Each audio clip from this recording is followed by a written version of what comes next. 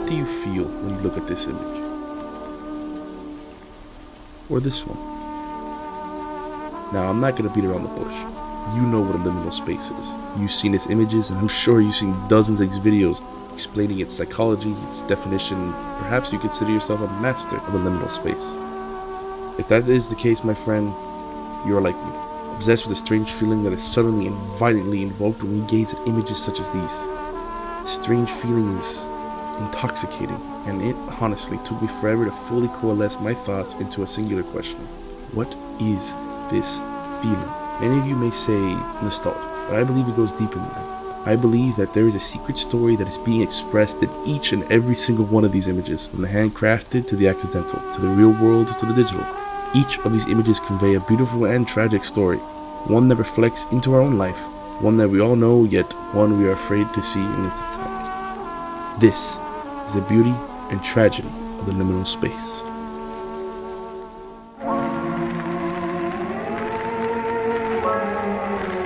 So I'm sure many of you know what they are, but for those who don't, a liminal space is an internet phenomenon that suddenly and violently overtook vast swaths of the internet. Seriously, there was a moment where you couldn't go more than 15 minutes without seeing this image, or perhaps even more infamously, this one.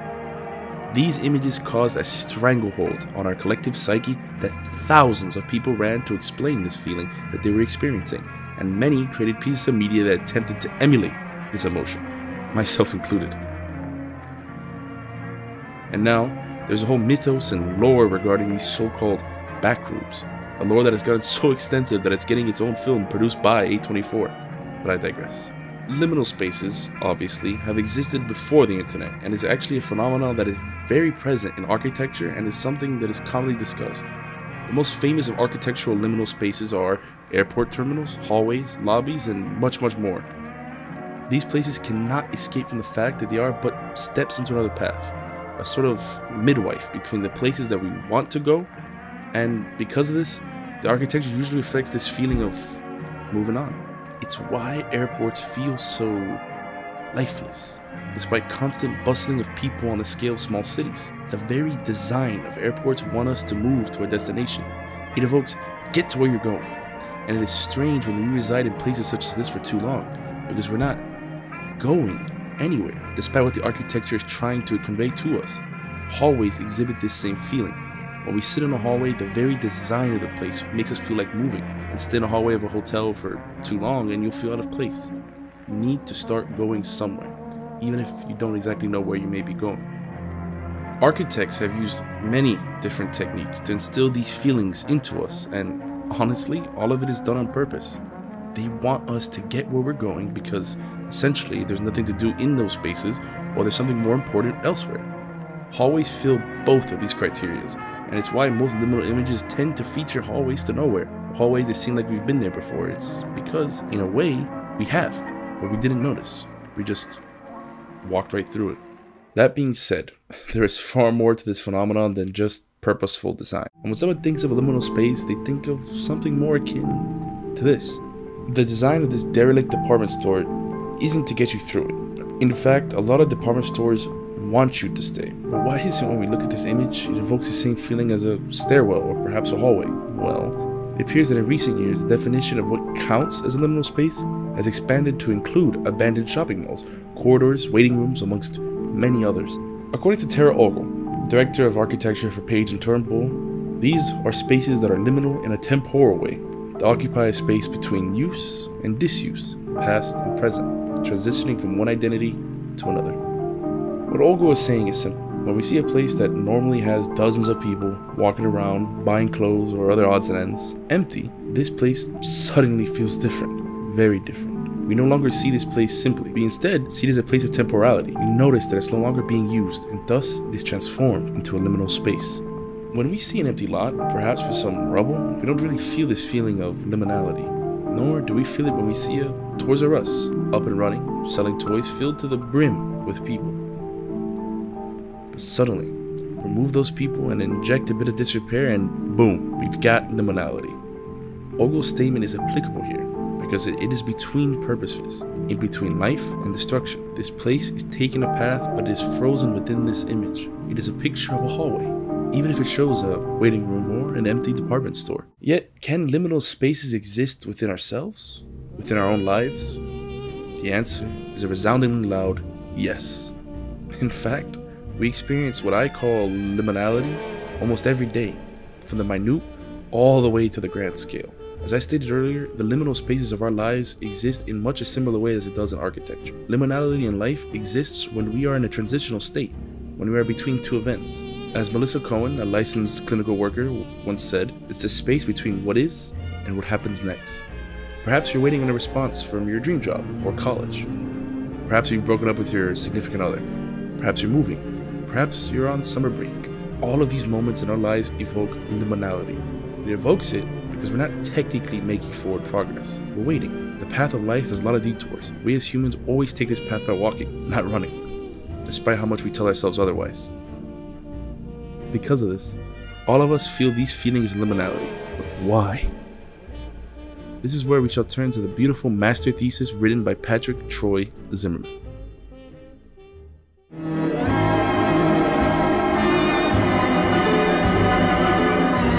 Written in 2008, long before the explosive popularity of liminal spaces, Zimmerman takes on the Herculean task of explaining why liminal spaces and architecture evoke such powerful emotions. Sounds similar to what we're doing today, huh? This document is a meaty one, going over 100 pages long with diagrams, pictures, and tables, all trying to explain one thing. Why are we so affected by liminal spaces? And what are they, literally?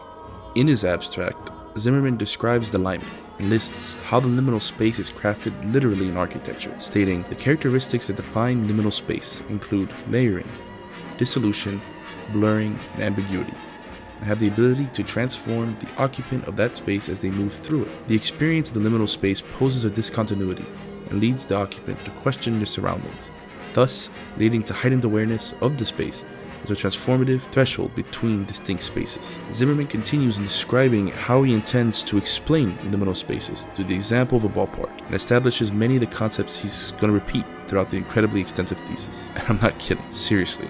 This thing is dense, but it's truly an interesting and beyond helpful read. And if you're interested in learning more about the very science of liminal spaces, I recommend giving this a read. Link to it in the description. Nevertheless, to make an incredibly long story short, Zimmerman states that he uses the ballpark as an example as it is a place of ritual, where people are tested and thus reborn. He states that the design of the ballpark is very meticulously designed to transform the person from a working man, a mother, or whatever into a baseball fan. Alongside this, blurring the space of the fan and the player from the space of the city grants this place a otherworldly feel, makes the enjoyment of the game all the better, or the ritual being conducted all the more impactful. Zimmerman quotes Fred Kowalter as he further delves deeper into the psychology of the liminal space, saying, The realm of the conscious and unconscious speculation and questioning, the zone where things concrete and ideas are intermingled, taken apart and reassembled, where memory, values, and intentions collide. This quote describes liminal spaces as more than just a place of in-betweenness, but instead a place of amelioration or healing, a place where ideas flourish and repair themselves, a place of preparation, a safe house in a zombie apocalypse, or an apartment in a thunderstorm, perhaps. So that means that liminal spaces are actually bastions of safety in an otherwise dangerous place. I stated earlier, liminal spaces are the time periods between rituals, or perhaps between the preparation and the ritual. Rituals, of course, being the word to describe any number of things, from genuine fearing of one's life to perhaps a pure mental battle. We experience these trials every day, and if that is the case, well, we must experience these liminal spaces as well. One such way we pass through these hidden liminal spaces is within our religion. While Zimmerman uses the example of the Athenian Acropolis, I shall use the Torii Gate. In Shinto Buddhism, the Torii Gate represents a portal of sorts between the profane, our world, and the heavenly, the other world. When we bow, we give respect to this other world before passing through it. I would argue that the Torii Gate is much akin to a hallway, and we, thus, are entering a liminal space. We are transitioning from our worldly profane problems the problems and sanctuary of the heavenly. We are passing from a ritual to another different kind of ritual. But how does this reflect into our daily life?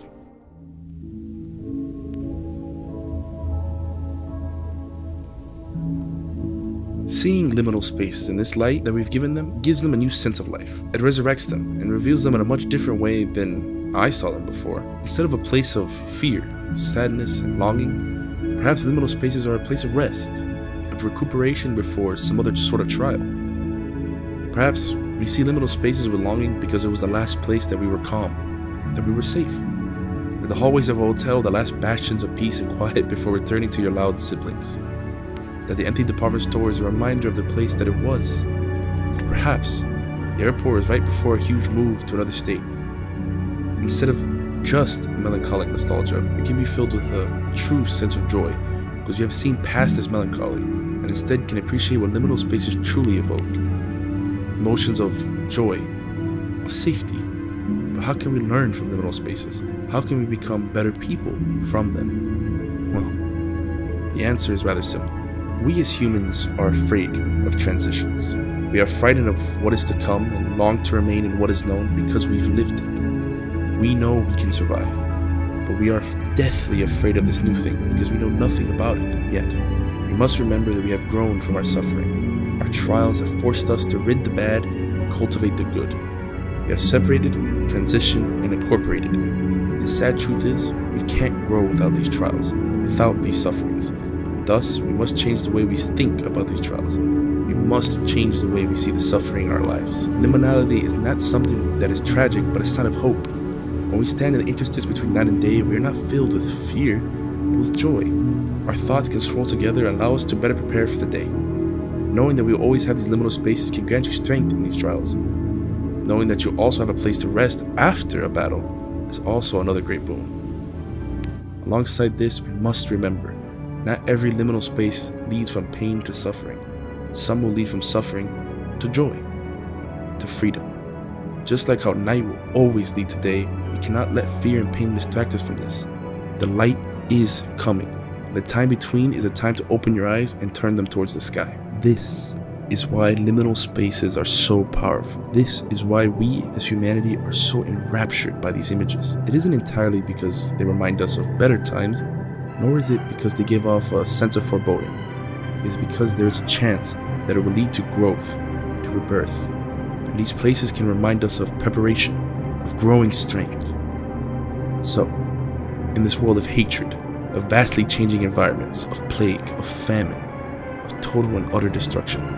Shall we give in to these evils, or shall we cross this liminal space? Should we dare to hope, or succumb to despair? I promise you, you know the answer. You've walked that floor and have crossed that threshold thousands of times before. So I ask you once more, what do you feel when you look at this image?